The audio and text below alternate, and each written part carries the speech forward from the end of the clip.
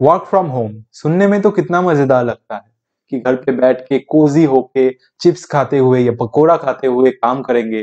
पर अभी जिन लोगों को करना पड़ रहा है, उनको पता है कि असल में ये कितना मज़ेदार है। तो अगर आप भी ये स्ट्रगल का पार्ट हो तो ये वीडियो आपको हेल्प करने के लिए ही बना है। हेलो गुड ह्यूमंस मैं हूँ सत्यजीत और ग्रोन अप के इस एपिसोड में आपका बहुत बहुत स्वागत है।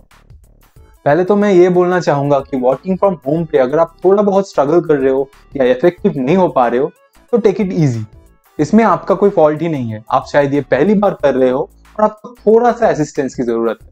और इस वीडियो पे मैं आपको वो असिस्टेंस देने का पूरा कोशिश करूँगा। तो चलिए देखते हैं वर्क फ्रॉम होम को आसान करने का ten useful tips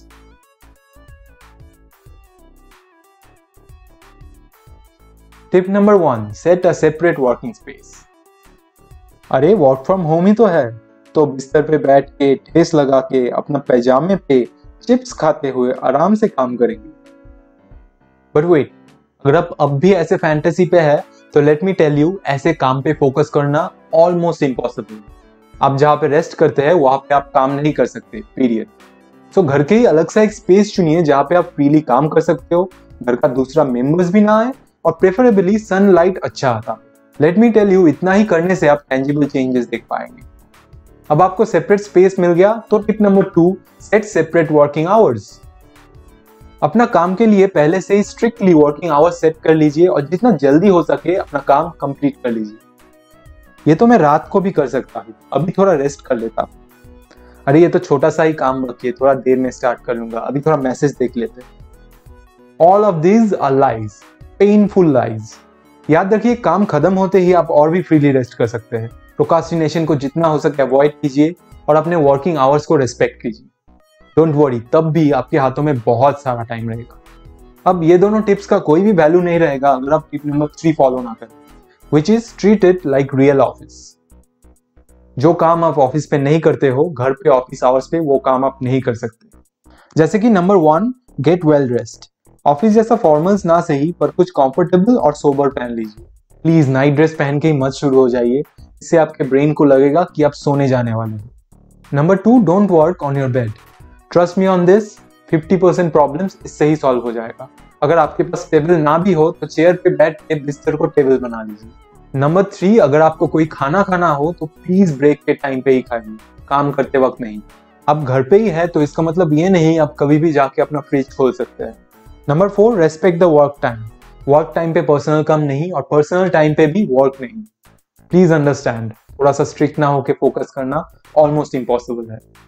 Useful tip number four explain people with देख दे तो जरा इस पे क्या लिखा हुआ है।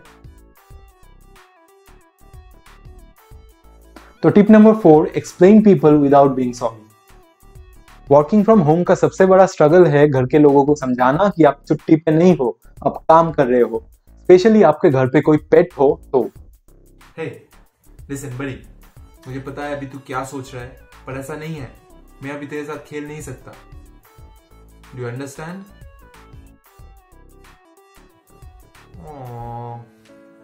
तो आप उनको अच्छे से समझाइए कि आपके वर्किंग आवर्स पे वो आपको बॉदर ना करें। ऑब्वियसली अगर कोई इमरजेंसी ना हो तो। अगर फिर भी काम ना बने तो well let me tell you you have a door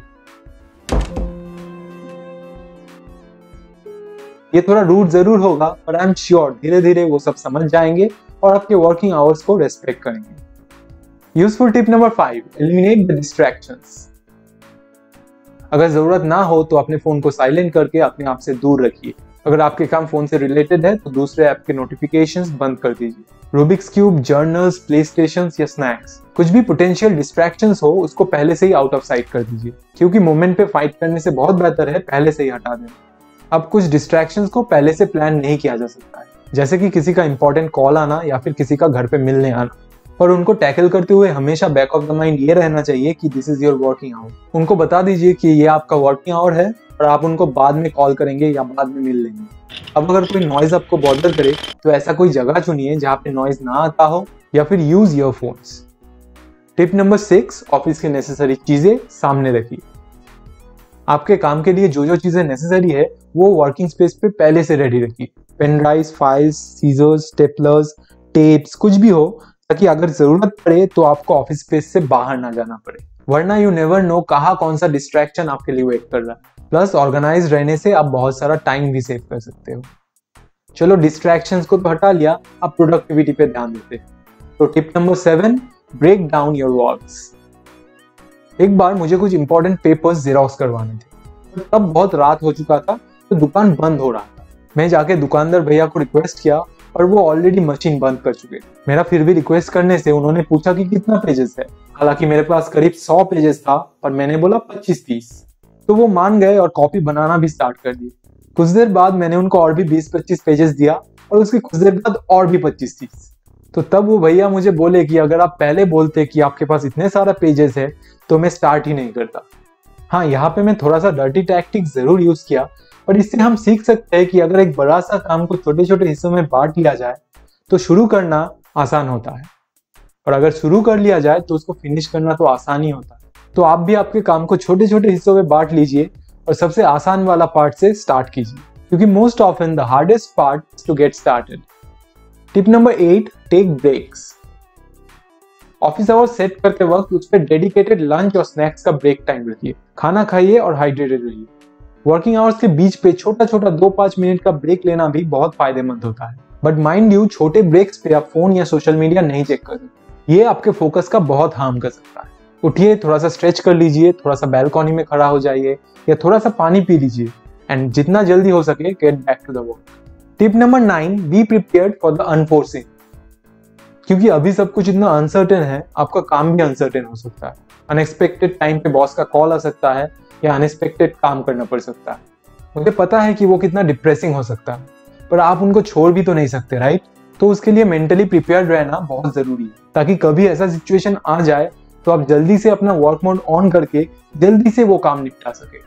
Tip number ten be grateful that you still have your job मुझे पता है कि घर से काम करना शुरू शुरू में कितना डिफ़िकल्ट होता कितना सारा डिस्ट्रैक्शन लैक ऑफ़ फोकस ऊपर से कितना सारा वर्क पर क्या आपको पता है कि पिछले दो वीक पे हमारे देश के लगभग 12 करोड़ लोग अपने जॉब खोए हैं और शायद उससे भी ज़्यादा लोगों को पता नहीं कि कल वो अपने परिवार को क्या खिलाएँगे। क्या आपके प्रॉब्लम्स और हेडेक इन सब के सिचुएशन से बेहतर नहीं है? मुझे लगता है कि आपको ग्रेटफुल होना चाहिए कि अभी भी आपके पास एक जॉब है। And don't take this for granted थोड़ा सा ही तो परेशानी है। थोड़ा कोशिश करिए, सब ठीक हो जाएगा। तो ये था वर्क फ्रॉम होम को आसान करने का टेन यूजफुल टिप्स एक बार पहले से देख लेते हैं। Tip number one set a separate working space tip number two set separate working hours tip number three treat it like real office tip number four explain people without being sorry tip number five eliminate the distraction tip number six keep necessary things near Tip number 7 Break down your walls. Tip number 8 Take breaks. Tip number 9 Be prepared for the unforeseen. And lastly, tip number 10 Be grateful that you still have your job. Good humans इन्हीं छोटे छोटे चीज़ों को implement करके आप work from home को आसान बना सकते हैं और ये वीडियो आप आपके उस दोस्त या कोलिग से शेयर कर सकते हो जो वर्क फ्रॉम होम से थोड़ा बहुत परेशान है फ़िलहाल thank you very much for watching मैं सत्याजीत और आप देख रहे थे ग्रोन अपडेट्स मिलते हैं अगली वीडियो पर।